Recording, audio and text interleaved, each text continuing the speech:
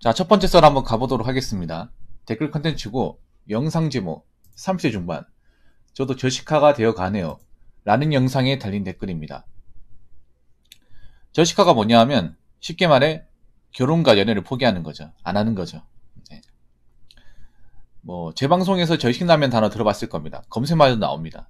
저신라면 뭐냐 하면 이번 생에 연애와 결혼을 포기하는 거예요. 쉽게 말해 여자랑 만나는 거죠. 음, 그런 사람들이 좀 늘고 있어요. 늘고 있습니다. 아무래도 좀 대한민국의 어떤 연애나 결혼 문화 지치신 분들이 좀 많이 등장하는 것 같은데 어떤 분이 굉장히 긴 댓글을 적어줬습니다. 그래서 요거 한번 진행해 보도록 할게요. 바로 읽도록 하겠습니다. 사연에 공감합니다. 여자분들, 자기들 공격한다고 성질만 내고 짜증 부릴 게 아니라 한번 차분히 생각을 해보세요. 싸우자는 게 아닙니다. 결혼 시장은 냉정하고 냉철하게 판단해야 하는 곳입니다. 청소년들 노는 곳이 아니라고요. 한국 여성분들 보면 나이 서른 중반이 돼서 돈 2, 3천도 없는 분들 은근 많더군요. 비하하려는 게 아닙니다. 25세 2천 없으면 그럴 수 있죠. 사회 초년생에 모을 기회가 없었으니까요. 하지만 한 달 50만원씩 1년 모아도 10년이면 6천입니다.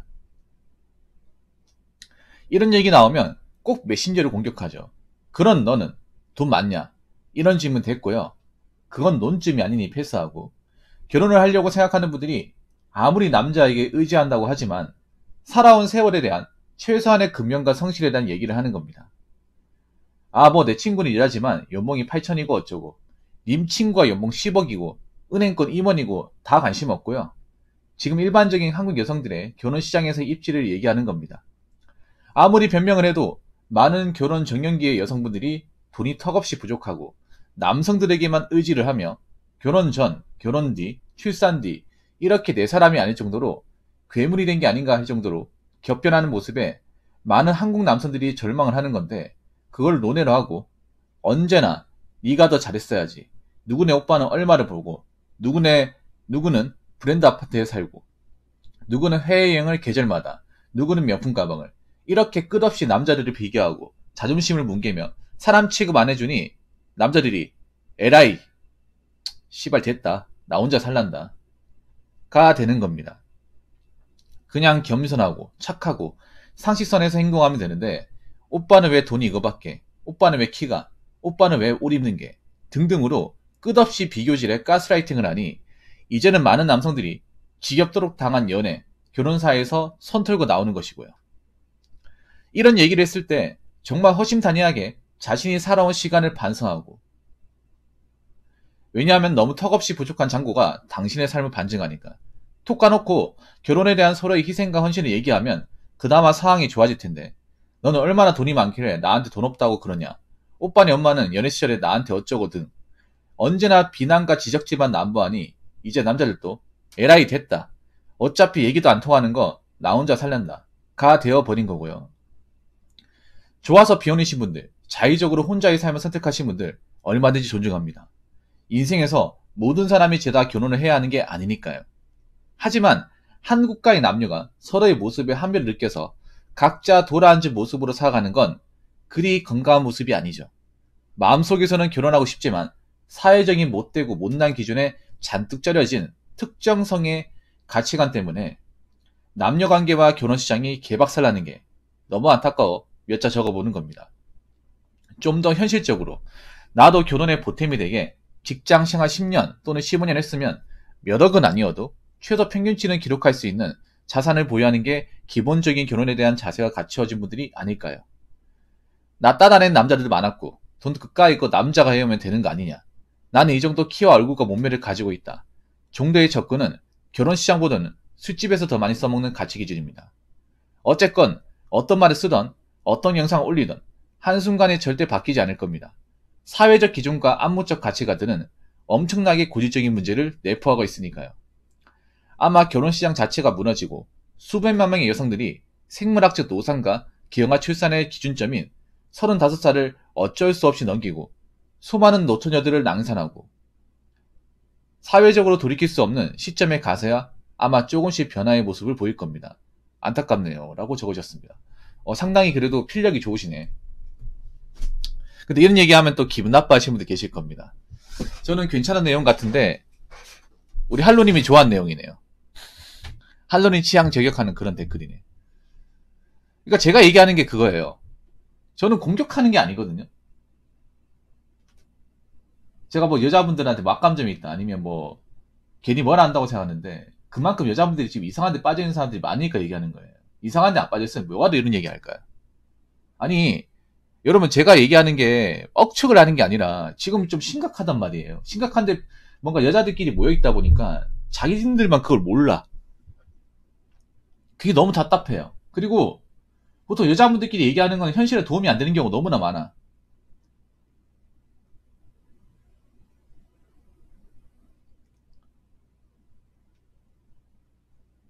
지금 잘못된 게 많아. 좀 안타까워요. 왜냐하면 지금 세상이 지금 안 좋게 가고 있습니다. 자신들이 원하는 대로 가고 있지 않아요.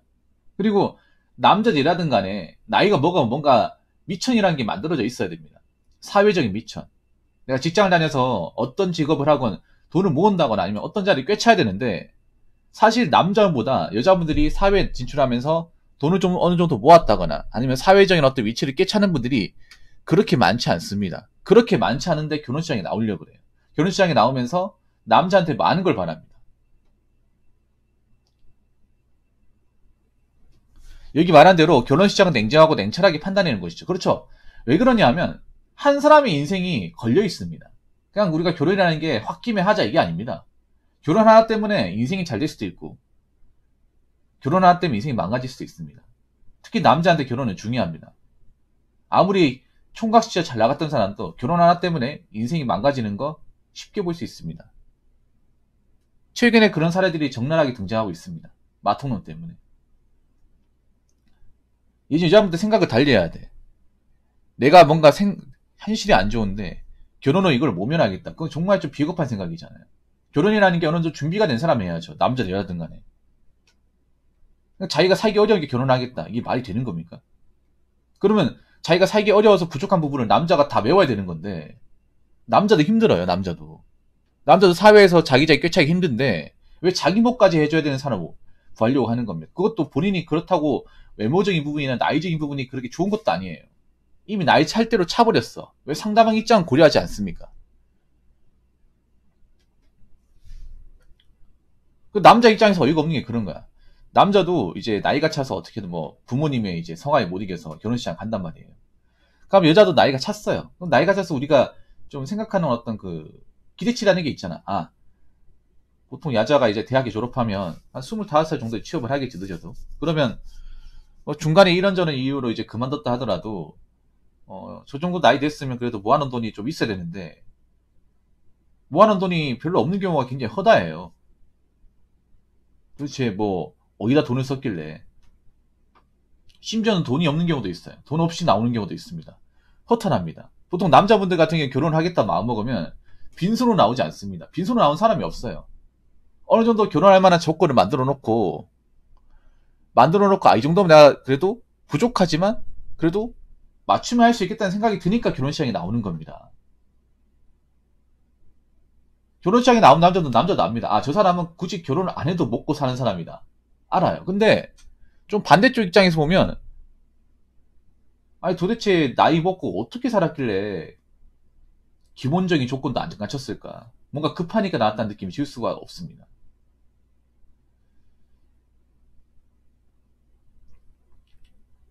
그래서 뭔가 잘못됐어요. 아, 여자분도 사회생활 할 수 있고 돈 벌 수 있잖아. 그러면 결혼이라는 게 어느 정도 돈을 가지고 나와야 돼요. 돈을 가지고 나와야 돼. 왜 이걸 남자한테 일방적으로 다 맞춰달라고 하는 겁니까? 그것도 나이가 찬 상태에서. 굉장히 억지죠, 억지.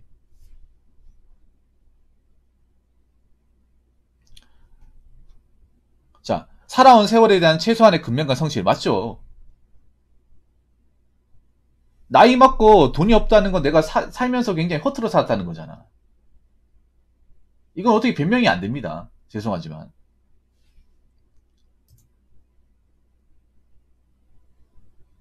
그 남자들한테 의지하기도 남자가 힘들어요. 힘듭니다. 이제는 그런 경우는 쉽지 않아. 내가 뭐가 능력이 없는데 남자가 어떻게 좀 마음에 들어서 결혼하겠지. 물론 연애는 가능하겠지, 연애는.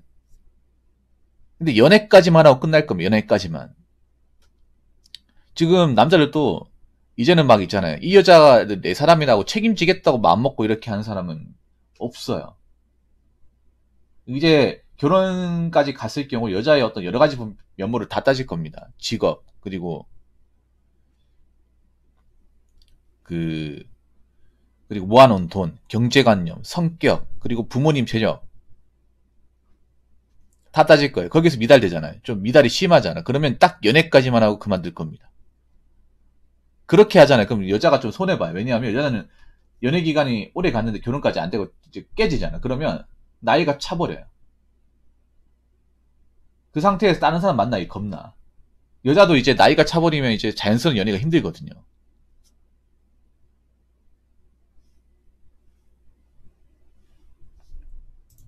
자, 이 말이 정말 싫어. 네가 더 잘했어야지. 누구네 오빠는 얼마를 보고 누구네 아파트에 살고. 이런 말 하시는 분들이 여자분이 능력이 없어요. 자존감도 약하고. 아니, 참 웃기지 않습니까? 남자가 능력이 부족하면 자기가 채우면 되잖아. 자기가 양보하면 되잖아. 왜 양보할 생각을 안 하는 거예요? 왜 항상 남자 탓으로 돌리는 거야? 나 이런 말 들을 때마다 정말 이기심이 끝판왕 같아. 얼마나 자기밖에 모르고 살았으면 자기가 뭔가 좀 채울 생각 안 하고 왜 채워줄 생각을 하는 거죠? 아니 남자들 능력도 한계가 있잖아요. 그럼 본인이 얼마나 대단하다고 그 남자가 채워줄 거라 생각하는 거죠. 그래봤자 인간인데. 안 그래요? 좀 여자분들 중에 그런 사람이 있어요. 자기가 뭐 부족한 거를 그 남자가 채워야 된다고 하는 게 있어. 그걸 사람 만든다고. 그건 내가 봤을 때는 사랑이 아닙니다. 그 망상이 빠진 거예요. 남자들도 이거 구분해야 돼. 내가 누굴 만나는데 자꾸 누군가 날 비교한다. 그럼 그 사람은 연애할 만한 어떤 그런 좋은 사람이 아닙니다. 빨리 그러셔야 돼요. 남자도 이거 바보 같은 게 뭐냐면 이런 거 다 받아주다 보니까 이런 밑도 끝도 없는 거 받아주다 보니까 아 이렇게 해도 되는 것 같다 싶어가지고 나오는 거야.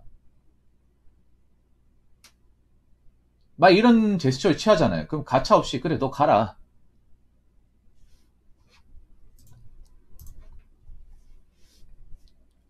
어? 너 가라. 딴 사람 가. 그 채워준 사람 가면 되잖아. 이렇게 좀, 좀 매몰차게 나와야 돼요. 나 못 채워주니까 채워준 사람 만나. 뭐하러 나 만나. 시간 아깝게.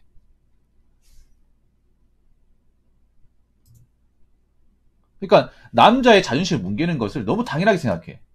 자기가 부족한 건데. 아니 자기가 돈 벌어서 그걸 채우면 되잖아.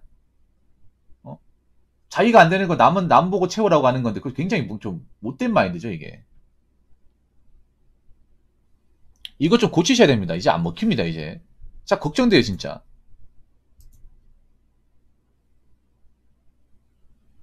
제가 이런 말 하는 사람도 여기 보면 오빠는 왜 키가 오빠는 왜 옷 입는 게 이런 말 하는 사람 치고 내가 정말 그 여자가 이쁘다 대단하다 하는 사람 별로 못 봤거든요. 꼭 자기가 부족한 걸그 남한테 투영시키는 사람이 있어. 이거 진짜 못난 사람이에요. 남자나 여자나. 이런 사람은요, 절대 가까이 두면 안 됩니다. 이제는 여자분도 아셔야 되는 게, 남자한테 일방적인 희생을 강요하면 안 돼요. 여자도 어느 정도 할 건 해야 돼요. 이 밑도 끝도 없이 희생하라고 하다 보니까 남자도 지친 거야, 이제. 안 한다. 내가 왜 그렇게 해야 되냐. 그렇게 한다고 행복을 보장할 수도 없는 건데. 그렇게 내가 봤을 때는 뭔가 내가 무한한 어떤 희생을 하고도 별로 그렇게 대단한 여자가 아닌데 내가 그가 왜 그렇게까지 해야 되냐 나오고 있는 지금 상황입니다. 이거 자체가 나쁜 거죠. 언제나 비난과 지적질. 어? 자기 자신한테 관대하면서 남한테 냉정하고. 이게 전형진 그간이야. 나르시시스트 아닙니까? 남자분 이런 거 받아주면 안 돼요. 앞으로 이제 남자분들이 이런 거를 거부하거나 안 하려고 하는 분들 많아질 거예요. 이 연애 시장에서 드러나고 있잖아요. 지금의 20대 남자들은 좀 매운맛이야. 저런 걸 받아주지 않아요. 어, 나한테 자꾸 이런 거 요구해? 어, 나 싫어. 가. 안 만나면 그만이니까. 약간 이런 식으로 나오는 게 지금의 20대 남자분들이에요. 30대, 40대 분들하고 완전히 다릅니다. 그래서 아마 이렇게 뭔가 밑도 끝도 없이 막 요구하고 하면 연애도 못하고 이제 결혼도 못하고 나이만 쳐버리는 거예요. 그리고 지금 20대 여자분들한테 얘기하고 싶은 거는 앞으로 결혼 기존에 우리가 봤던 결혼 시장하고 좀 많이 다르게 될 거예요. 앞으로 이제 능력이 없으면 여자가 결혼 못하고 혼자 사는 것들 많이 보게 될 겁니다. 보기 싫어도 보게 될 거예요. 그리고 뭔가 노후에 대해서 직업적인 부분에 대해서 준비가 되어 있지 않은 분들이 나이 먹으면 좀 힘들게 사는 것을 보게 될 겁니다. 앞으로 저렇게 뭔가 가진 거 없는 분들, 가진 거 없이 나이가 차시는 분들은 결혼이 성사가 안 될 거예요. 안 될 겁니다. 여기 받아줄 분들 없잖아요. 그러면 이제 저분들도 이제 혼자 살게 되고, 근데 문제는 혼자 살게 되었을 경우 대비가 안 돼 있다면, 대비가 되었으면 돈을 모아놨거나 아니면 직업적으로 커리어를 많이 쌓았겠죠. 근데 이것도 아니고 저것도 아니고 애매해집니다. 그런 상태에서 40대를 맞이하게 돼요. 그러면서 이게 대한민국 사회에서 얼마나 살아가는 게 난이도가 있는지를 듣게 될 겁니다. 그러면 이렇게 결혼 시장에서 밑도 끝도 없이 요구했던 것들을 좀 내려놓게 될 거예요. 안 그러면 결혼 성사 안 될 겁니다. 앞으로는. 그리고 좀 생각을 좀 달리 먹으셔야 돼. 자, 다시 한번 얘기하지만 제가 여자분들을 뭐 나쁜 감정이 있어서 얘기하는 게 아니에요. 뭔가 이상한 데 빠져 있는 것을 좀 나오게 하기 위해서 지금 여자분들 중에 좀 이상한 쪽에 빠져 있는 사람들이 많아. 감성주의에 매몰돼 가지고. 그래서 뭔가 이성적이지 못하고 엉뚱한 생각을 하는 분들이 많이 있어요. 그러다가 나이 차면 진짜 골로 갑니다. 나이 차가지고. 연애 결혼도 못하면 골로 가. 답 없다니까요. 그 정도까지 가기 전에 이미 정신 차려야 돼요. 지금 미디어에서 님들 이용하고 있다니까. SNS나. 자꾸 돈만 쓰도록 유도하고 있다니까요. 엉뚱한 희망 가지도록 자꾸 이렇게 세뇌시키고 있습니다. 세상은 지금 생각보다 안 좋게 돌아가고 있습니다. 앞으로 취업시장 더 안 좋고 여자분들이 취업시장에서 진짜 기대 이상의 능력을 발휘하지 않으면 살아남기 힘들 거예요. 본인이 생각하는 이상으로 세상은 냉정합니다. 결혼 시장도 냉정해질 거예요. 여자분들한테 뭔가 배려받고 이제 뭔가 양보했던 것들 이제 양보 안 해줄 겁니다. 그렇기 때문에 빨리 정신 차리시고 현실 파악하시기 바랄게요. 아시겠죠? 저는 그래도 지금 어느 정도 현실 인지하시는 분들은 잘 될 거라 생각합니다. 그런 분들은 좋은 짝 만나서 결혼하시고 좋은 연애 하시기 바랄게요. 자, 이상으로 첫 번째 썰 마치도록 하겠습니다.